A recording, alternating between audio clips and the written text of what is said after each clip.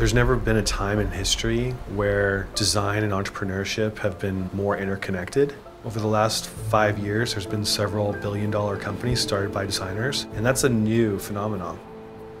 Companies are placing more emphasis on design now, I think, than they ever have. Design is one of those assets that companies feel like there's something in it for us, not just from a financial aspect, but an emotional aspect to how our customers think about our product. Engineers think about computers and think about systems strictly. Does this actually functionally work where designers have to think about people and their emotional state and their quirks and idiosyncrasies? Even the best executing companies in the world that just have amazing processes, really understand the customer, understand the problem and are attacking it and are incredibly good at attacking that problem, they're vulnerable if they haven't thought about design.